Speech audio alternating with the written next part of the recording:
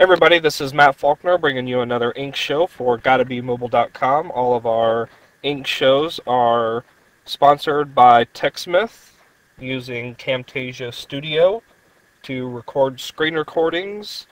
So let's get on with this review of Pen Commander 2.0. Okay, so let's get started here. Let's uh, start with, uh, let's say Notepad. Oh, sorry, Notepad. Opens up Notepad. Let's try Word. Opens up Microsoft Word 2007. And let's just say Internet Explorer. Open up Internet Explorer. We'll go to Gotta Be Mobile homepage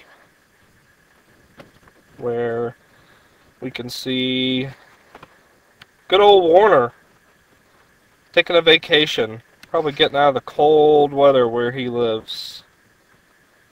Well, let's go back here to Microsoft Word. Get our cursor in there.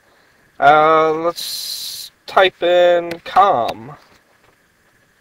Type in com, you can see that it automatically fills in your internet address there. And I have programmed in gotta. And that will put gottabemobile.com. So, another feature here, um, you can put address, A-D-D-R. Put that in there, it pulls in the whole Fatware Corp address there for you and website.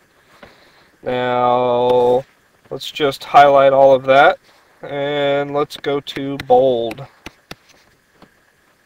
You can see that that puts everything in bold text. Let's do italics you can see that it switched everything over to italics. You do that again. Oh, let's undo that. Let's put ITAL in there. Takes it back to bold. If you put bold again, it will take it back to normal text. Okay, so let's look at some of the tools and settings in here. If you click on there, you've got some tools for the recognizer. You can start Windows or Pen Commander when Windows boots. You can change the transparency level um, of the box here. So if we do that, it's gone, I guess. 100% transparency and go in back into options 0% transparency and you can see that it covers up. Open up tools again go 42 hit OK you can see that the window is now transparent so you can see underneath. Now let's look at one more feature of the Pen Commander application. If you come down here and click on the assign gestures. Gives you great set of shortcuts and tasks here that you can change and assign characters to. Uh, so you can copy and paste uh, with some chevrons. I mean you can do you know whatever you want and assign these uh, different if you want to do a left up um, you can hit true. You can do the Pen Commander or key shortcut, and then you can choose any of your uh, gestures or I'm sorry commands that you want to use. Now another feature that uh, Pen Commander has is if you open up Visual Pen Commander you can see that you have a window here that you can program uh, different functions, features to um, start using. So if you want to look at how uh, they have done some of the you know built-in gestures and commands in here you can see that you know when you write the ADDR which you can see here, like I did in Word, it will type out all of the stuff here. You can do, by the way, open that one up. You've got By the Way, um, Gata. This is the one I added in here. You can see that when I type gotta, or write gotta in the window, it will type Gotta Be Mobile wherever my cursor is. Um, smile. So these are just some things that you can do uh, in Pen Commander.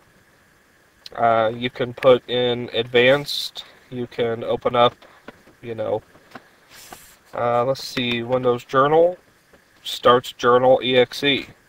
So if we want to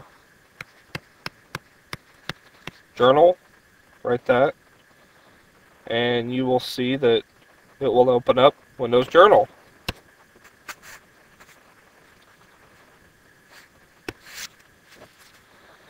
So,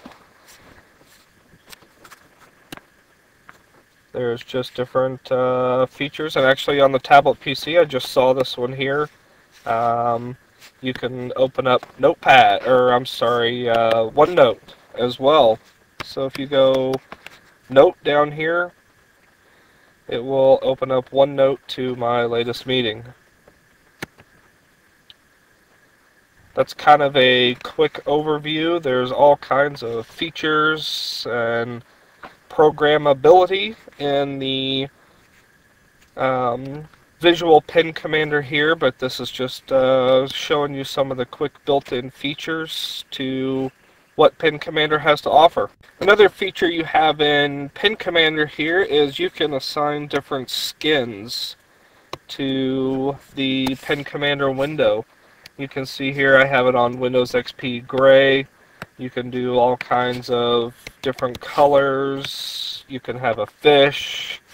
Um, let's see, let's scroll up through some of these so you can see all different kinds of interfaces there. Uh, another thing you can do is actually, if you look in the help, which is very good I might add, you can see that you've got the skin dialog box and you've got a definition file.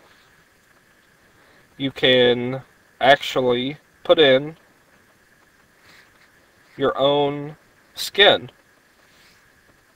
So it's also skinnable.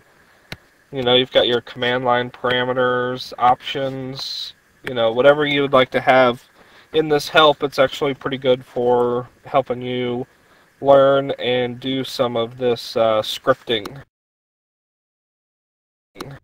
That was a quick run through there of Pen Commander. Ran through some of the commands opening up some programs. We saw some shortcut gestures and visual Pen Commander. And if there's any other questions, you can ask us in the software forum or you can go to fatpad.com and have any of your questions answered there. This has been another Ink Show brought to you by TechSmith. Thank you very much.